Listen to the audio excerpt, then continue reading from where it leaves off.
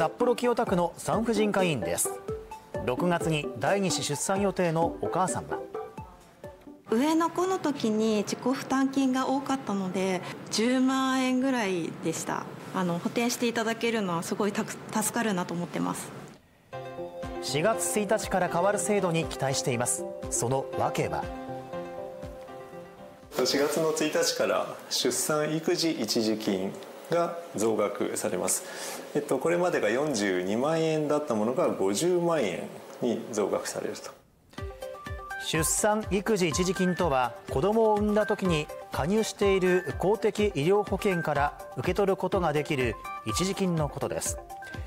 これまでは1人当たり42万円でしたが4月1日からは8万円増額され50万円支給されるのです。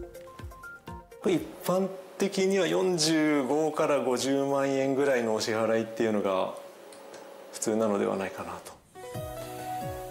石渡院長によると出産費用は年々増加傾向にありこれまでの一時金42万円では賄いきれないケースが多かったといいます。今回の増額で自己負担分がなくなることを期待しています。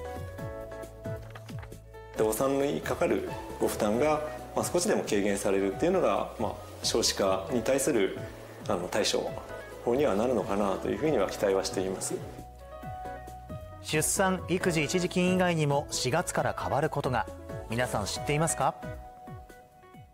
ヘルメットがあのみんな着用で買わなくちゃいけないかなっていう方向で考えてます。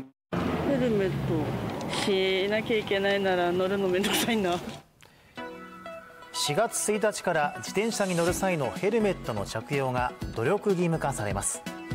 そして皆さんが一番気になっていることが。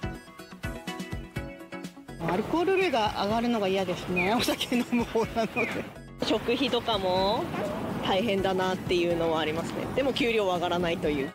物価は上がるのは知ってるけど年金が上がる給料も上がる物価が下がる それを望みますか？もちろんですよ。値上げに加え変わることは他にも。この後スタジオで詳しくお伝えします